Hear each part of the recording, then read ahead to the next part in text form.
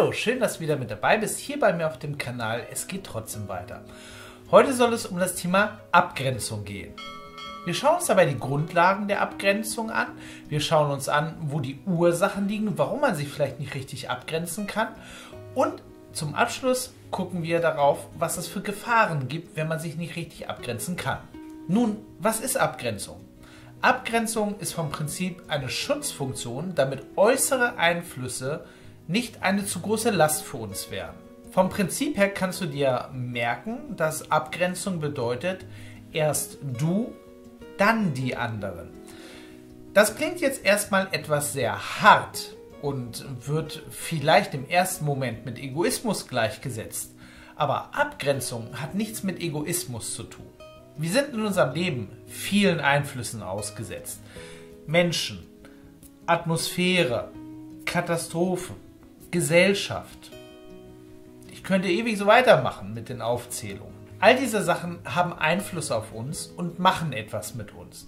Und bei der Abgrenzung geht es darum, dass du selber entscheidest, wie weit lässt du Situationen an dich heran oder wie weit lässt du dich auch vielleicht von anderen vereinnahmen.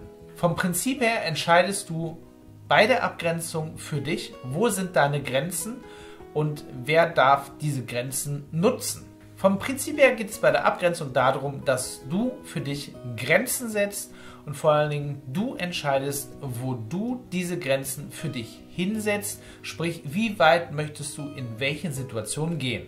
Zu beachten ist dabei, dass du darauf achtest, wo deine individuellen, deine speziellen, deine persönlichen Grenzen sind.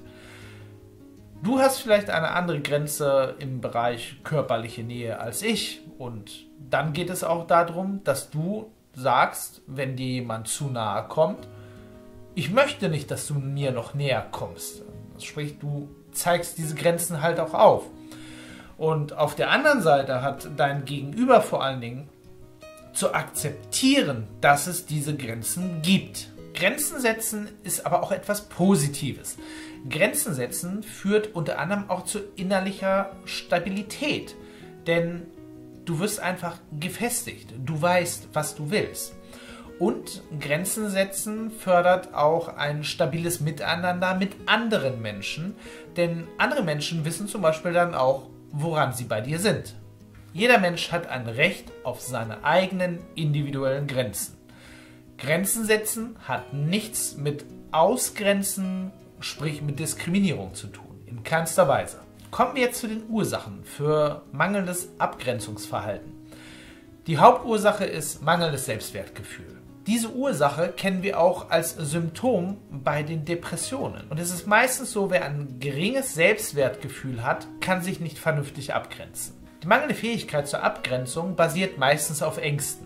Nicht geliebt zu werden, nicht gewollt zu werden, dass man zurückgewiesen wird. Wirkt man vielleicht egoistisch, lieblos, kaltherzig? Wird man vielleicht selber irgendwann dann zurückgewiesen? werde ich vielleicht irgendwann total einsam sein, von allen verlassen sein? Oder komme ich vielleicht irgendwelchen gesellschaftlichen Pflichten nicht nach? Neben diesen Ängsten gibt es auch noch weitere Ursachen dafür, dass man sich nicht abgrenzen kann. Nämlich, äh, dass man zum Beispiel seine eigenen Grenzen noch gar nicht kennt, dass man die vielleicht auch noch gar nicht definiert hat. Des Weiteren kann es vielleicht aber auch sein, dass ihr eure Grenzen schon kennt, sie aber nicht zum Ausdruck bringen, also sie nicht artikulieren könnt. Ein ganz fieser Punkt ist, dass ihr eure Grenzen kennt, dass ihr die Grenzen auch zum Ausdruck äh, bringt, aber dass dann es einfach solche Menschen gibt und solche Menschen gibt es leider, die eure Grenzen einfach nicht respektieren. Das Thema Achtsamkeit ist für das äh, Thema Grenzen setzen etwas, was super, super wichtig ist. Kommen wir zu den Gefahren, wenn ihr euch nicht vernünftig abgrenzen könnt. Vom Prinzip her werdet ihr, wenn ihr euch nicht vernünftig von Situationen und auch vor allem von anderen Menschen nicht vernünftig abgrenzen könnt, einfach überrollt. Ihr werdet mit Wünschen überrollt, ihr werdet mit äh, Aufgaben überrollt, ihr werdet einfach schlichtweg ausgenutzt, auch im schlimmsten Fall. Das alles wird dann im nächsten Schritt dazu führen, dass ihr irgendwann körperliche Symptome dazu spürt. Ihr werdet abgeschlagen sein, ihr werdet erschöpft sein, ihr werdet irgendwann vielleicht auch in einer Traurigkeit enden. Der dritte Punkt ist, du wirst von anderen einfach ausgenutzt und dominiert. Punkt 4 wird irgendwann sein, dass du irgendwann völlig überfordert bist und an Erschöpfung leidest.